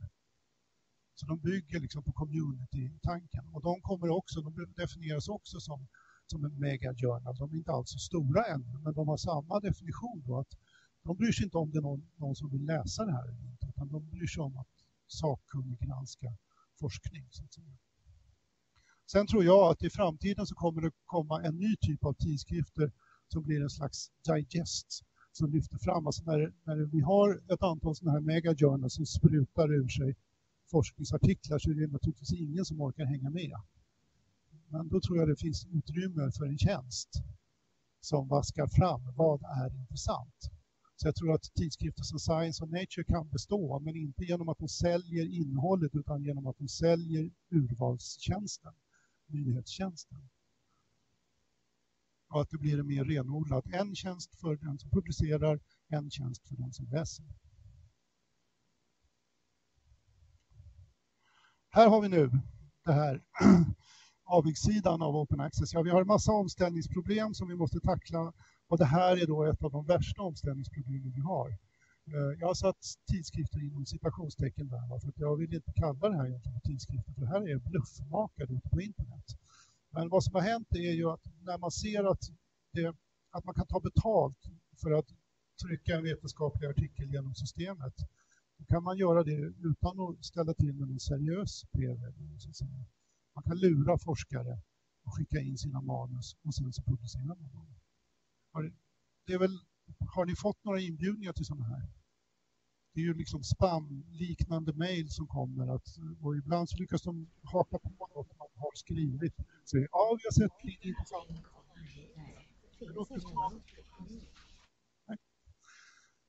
Um, ehm, så att här har vi en skumraskmarknad som bara växer och blir större tyvärr. Eh, det finns en amerikansk bibliotekarie, Jeffrey Biel, som har en lista Ja, just det. Ja. Utbytesbibliotek, ja.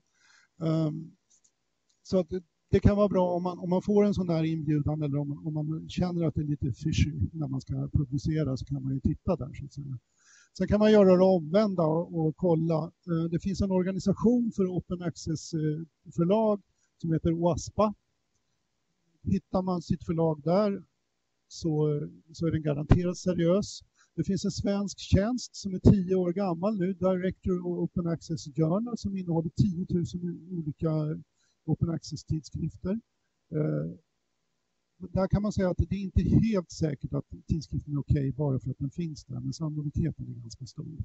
De har fått in tyvärr en del skräp tidskrifter i sin databas, men de arbetar på att ställa bort dem. De har höjt kraven för att få vara med i databasen. Men det man ska säga också är att det är inte, det är inte svart eller vitt. Va? Det, det, är inte änglar och skurkar här, utan det är en glidande skala, mer eller mindre bra peer Precis som det är i prenumerationstidskrifter också faktiskt. Bottenskiktet av prenumerationstidskrifter kan det också vara lite slirig faktiskt. Jag vet inte om ni har hört talas om den här artikeln i Science som kom för ett par veckor sedan.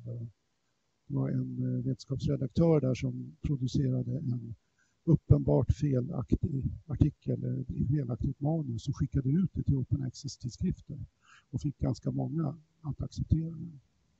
Det är en väldigt läsvärd artikel. Sen är det många som har invändningar mot hans metodik eftersom det känns lite som en setup mot Open Access. Att han, han använder sig av de här som vi redan innan visste att de var skumma så att säga och kallar dem för Open Access-tidskrifter. Då, då. Så det, eh, det går att diskutera, men den är välskriven i alla fall. Så den, det kan vara värt med sig. Nu måste jag nästan börja avrunda. Ja, det, är väl, det var det här sista då. Hur, hur, hur ni, alltså, bibliometri och open access är två olika aspekter av hur viktiga publikationerna har blivit. Och jag hade, hade en debattdel där på slutet om det här med varför har publikationerna blivit så här viktiga. Och jag hinner inte riktigt ta den nu, men, men grundtanken i den är att vi idag lever i ett kunskapssamhälle där kunskap eh, är liksom ett konkurrensmedel i en global konkurrens. Eh, vi satsar mycket pengar på forskning idag. Vi behöver se vad får vi tillbaka som forskning. Och det börjar, så att säga, bli allt, man börjar använda allt mer eh, så att säga, affärsmässiga redskap för att styra forskning. Så att säga. Och när man vill studera output från forskning då är publikationer och citeringar några mått som går att använda. Och det är lite olyckligt att de används så väldigt mycket. Och här ser ni då eh, forskningsutvärderingar, eh, medelstilldelningar, universitetsrankningar som är en avart också. Och det tråkiga är ju också att det, det, är ju ingen som läser publikationer utan man bara räknar liksom, var har du publicerat dig, hur mycket har du publicerat dig, hur mycket är du citerar? Det är alltså kvantitativa mått som ska vara proxys för kvalitet. Den här rubriken är lite sorglig, men den är skriven på uppdrag när jag var ute och pratade om bibliometri. Så måste du sluta med att säga hur man optimerar sitt bibliometriska utfall. Ja, och har ni nu gått grundkursen i bibliometri så vet ni att ni ska skriva i tidskrifter som finns i Web of Science eller i Scopus. Det vill säga ni ska skriva på engelska internationella tidskrifter. Ehm, sen ska ni se till att ni når, ut i, där då genom att kolla om tidskriften har en impactfaktor. Det är tråkigt att säga det eftersom jag just sågar den, men det här handlar ju om att bedöma tidskriften. Då. Och då vet ni att har den en impact-faktor, då finns den i Thomson Reuters Web of Science-databas, för det är Thomson Reuters som tillverkar impact-faktorerna. Så då vet ni att ni finns med även Alltså att en, en hög impact-faktor gör oftast att man publicerar en tidskrift som är synlig, men man är också med i Web of Science-databasen, så det blir bibliometri på det. Sen kan man ägna sig åt saker, nämligen att man samarbetar mycket, eh, gärna mellan olika organisationer och att man publicerar tillsammans. För vad som händer där är att en forskning som, som görs i samarbete och artiklar som publiceras i sam, sam, sam, sampubliceras eh, får en större kontaktyta mot forskarsamhället. De får fler citeringar, de får större impact. Man ser en ganska tydlig korrelation mellan antal författare och antal citeringar när man tittar i citeringsdatabaser upp till en viss gräns, men under 10 i alla fall så är korrelationen ganska tydlig. Eh, sen kan man göra det då som jag pratade om tidigare, att man själv citerar, det vill säga att när jag skriver en artikel så refererar jag till mina tidigare verk. Eh, när man gör seriös citeringsbaserad bibliometri så brukar man ta bort självciteringar. Inte för att det är något som är felaktigt utan för att man brukar säga att man vill se vad man gör för intryck på resten av forskarsamhället, inte på sig själv. så att säga. Så man filtrerar bort dem. Då, då. Men det visar sig att om man självciterar sig så gör man också reklam för sina tidigare artiklar. De blir synligare. Så självciteringar leder till fler citeringar från andra. Det vill säga att någon, om någon läser något bra av dig och ser att du själv finns med i referenslistan så, och inom något snarlikt ämne då förstås, så, så följer de kanske upp det också. Sen kommer vi till de här sakerna då, sorgligheterna i våra databaser. Nu har han, den värsta kritiken gått här. Men, eh, eh alltså, vi är tyvärr tvungna att söka fram era artiklar baserat på era namn. Så som de kan ha blivit när de har filtrerats via en, en, en av era medförfattare som kanske stavade ett namn fel, skickade in det till en tidskrift som inte känner till Å, Ä och Ö eh, skickar den till Thomson Reuters databas. Alltså den har manglats i massa olika sammanhang och trillar ut på ett sätt som ja, kanske inte riktigt ni hade tänkt från början. Så att säga. Och nästa gång så skriver ni eh, ert namn lite annorlunda och så trillar det ut på ett annat sätt och så har de publikationerna landat på två olika författare. Så där har vi, har vi jätteproblem faktiskt. Eh, och likadant är det här då med organisationsanknytningar när ni ska skriva var någonstans ni befinner er om, om vi nu använder bibliometri för att fördela pengar till Linnéuniversitetet. Skri, skriv då Linnaeus University och stava det rätt så, så, att det här maskineriet verkligen hittar er publikation och kopplar den Ja, just det.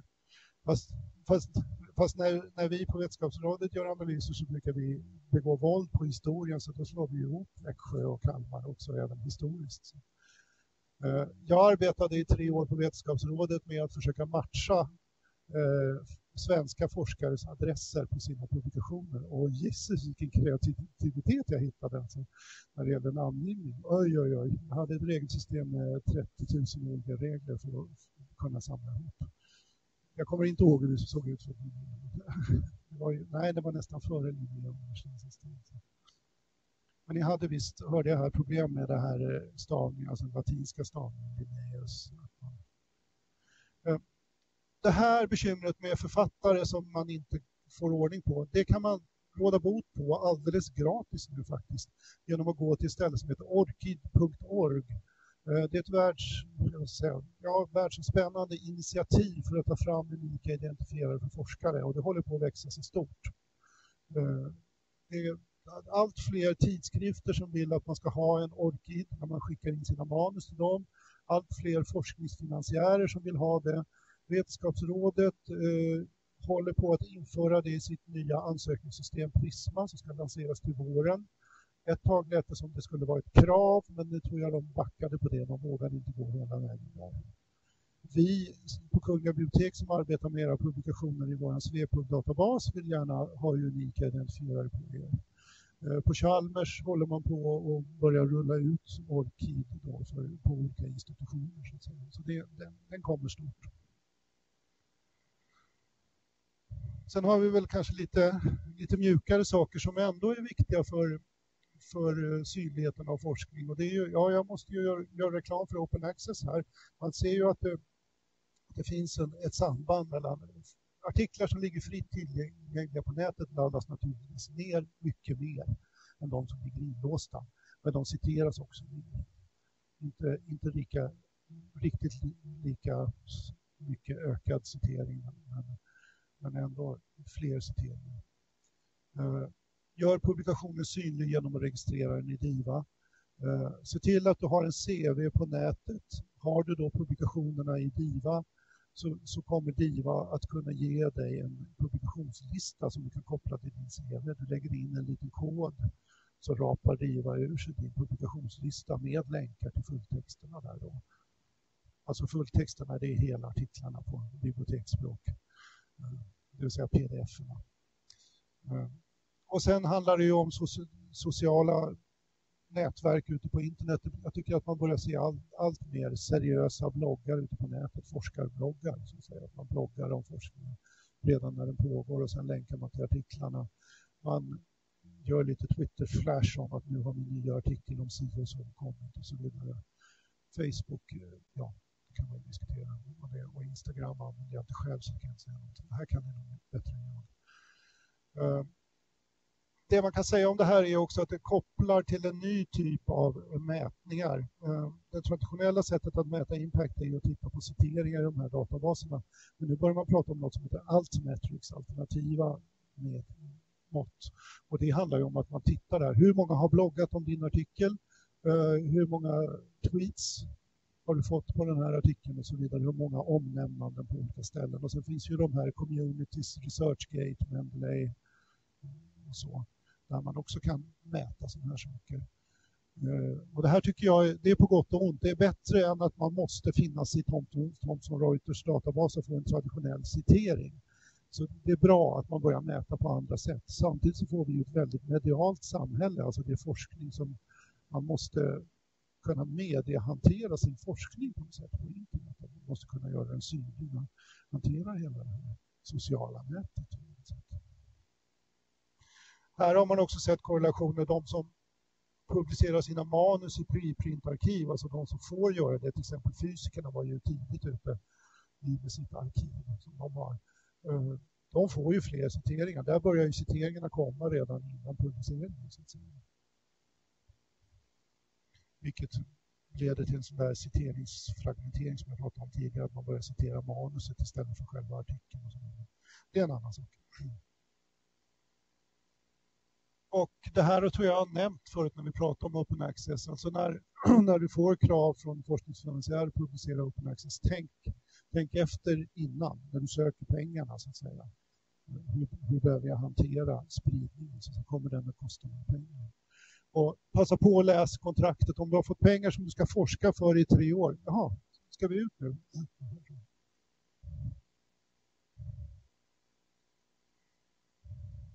Ja. Ehm, Ägna en timme åt kontraktet där och läs gärna det här Copyright Transfer Agreement också med förlaget och kolla vad det är som gäller där. Ja. Nu. Ja. Ja, nu kan man.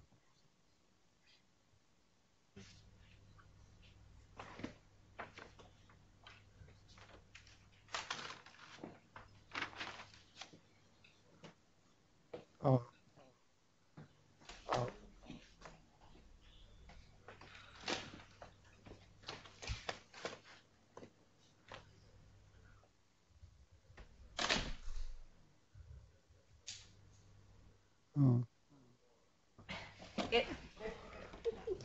Vi hör ingenting. Hörs det nu då? Ja, nu hörs det. Jag tar det från början igen. Det fanns ju RUT och RUT 2 eh, någon gång 2008, den här Ja. resursutredningen som du nämnde innan med bibliometrin som eh, sätt att mäta prestation och så vidare. Och så pratar man om excellens i forskningen och så vidare. Men hur ska man mäta det då? Eller är det detta som vi håller på med nu bevis på att det här funkar eller funkar det inte? Eller hur ska man så att säga bedöma den här insatsen? Ja. 2008, eller är det för tidigt kommer man att utvärdera Eller Ja, vad tänker du för svensk del? Alltså? Nu är det inte pengar som har fördelats utan det har lagts eh, åtskilliga miljoner för att utarbeta de här systemen också. ja. Det är väl en eh, ja, ganska stor fråga, men eh, har du någon synpunkt på detta? Alltså, min synpunkt här kopplat till det här med kunskapssamhället och forskningen och, och så vidare är ju, är ju att jag tror att vi befinner oss i, i en situation nu när forskningen är en viktig del av produktionen och att det finns någon slags legitimt behov av att mäta vad, vad är det för output. Men vad som har hänt är att man är så nymornad här att man, tar, man griper efter de mått som finns och där råkar bibliometrin finnas som ett, någonting som trillar, där trillar det ut siffror, hur många publikationer och citeringar finns. Och då kör man alldeles för hårt på det enda måttet. Jag, tycker att, jag tror att vi kommer att få leva med den här utvärderingskulturen ganska länge faktiskt.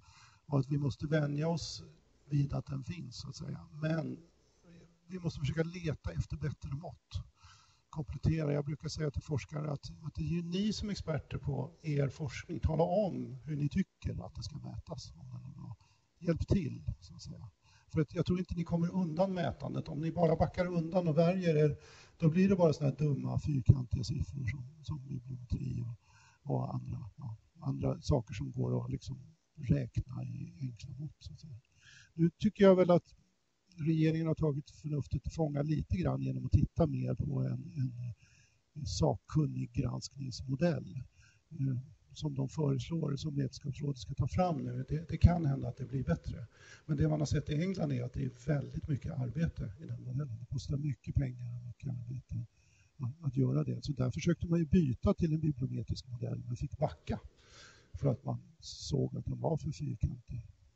Så nu är de tillbaks i REF-systemet, det är fortfarande ett, ett review-granskningssystem. Det var i alla fall svar på en del av dina frågor. Men det, det, det talas ju ofta fina ord om, om liksom excellens och spetsforskning och, och sådana här saker, men sen när det kommer till kritan så är det, mäts det ofta som en ganska trubbig redskap. Och där tycker jag att vi behöver sätta igång och forska fram nya metoder.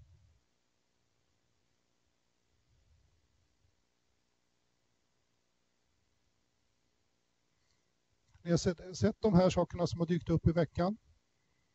Eh, stiftelse, den här utredningen om universiteten som stiftelse. Det är ju liksom, går ju rakt i riktning att regeringen, eller, ja, staten vill så att säga knoppa av universiteten och, och ha utbildningen till köp och sälj istället. Och här såg jag just när jag steg upp i morse så Makei Saremba, regeringen vill att högskolan ska drivas som företag.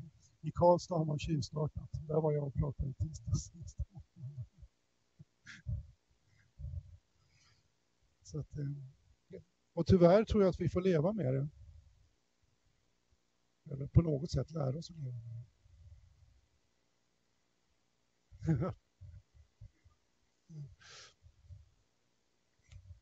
De här communities du pratar om, ResearchGate och sen finns ju Mendeley, Mendeley finns- och det finns akademia.edu och allt vad de Ja, heter. ja. Är det, det här blir liksom komplement till de här repositorierna? För jag menar, man kan ju publicera sig som forskare även där i dem. Ja. Man kan ju lägga ut hela sin produktion i de här. Ja, men det är ju inte bara kommunikation utan det är ju även publicering. Ja, just det. Just det. Eh, är det, ja, hur mycket tid ska man lägga ner på, på, på allt detta? Eller, det, det är så pass bra att lägga ut publicering där också, menar du alltså? För att få impact. Jag vet faktiskt Förstår du vad jag menar? Så Ja, det är jag ju- förstår precis man vad du ska menar både och ha jag känner- DIVA och man ska publicera sig på eh, 58 olika ställen till. Men Jag, det, tror att du, du får fråga folk som gör det och kolla om de tycker det är värt mödan. Så att säga. Jag vet att det är många som pratar varmt om ResearchGate, att det är communities där man kan bygga. Sen, sen är det väl inte så roligt om publikationerna sprids på för många ställen så att folk börjar skriva citeringar till dem. Alltså om, om man ska göra citeringsmätningar så blir man inte så glad när, när någon hänvisar till din artikel i ResearchGate, någon hänvisar till din artikel i DIVA och någon hänvisar till artikeln i tidskriften, vilket är det enda som räknas när man kör bibliometri i Web of Science. Så att, att ha den spridd på för många ställen kan också leda till att det uppfattas som många olika artiklar. Men eh, nej, ja, jag kanske inte borde skriva så mycket om det här för jag vet inte så mycket om det här. Jag, det jag menar är att det här är en ny, ny värld som forskningen bör förhålla sig till. Så att, säga. att det, här ute händer det mycket just nu. Och ska man mäta impact så verkar det som att försöken att flytta impactmätningen ut på nätet mm, ja, de, de, de, finns här. Så att säga. För här finns det ju saker man kan mäta. Man kan säkert gå in i ResearchGate och få en massa... Jag vet inte om den, den mäter citeringar också i ResearchGate. Ja, just det. Ja, jag har svårt att tala, säga vad, vad värdet är. Så att säga. Det får man nog prova själv. Det är lite för nytt för mig.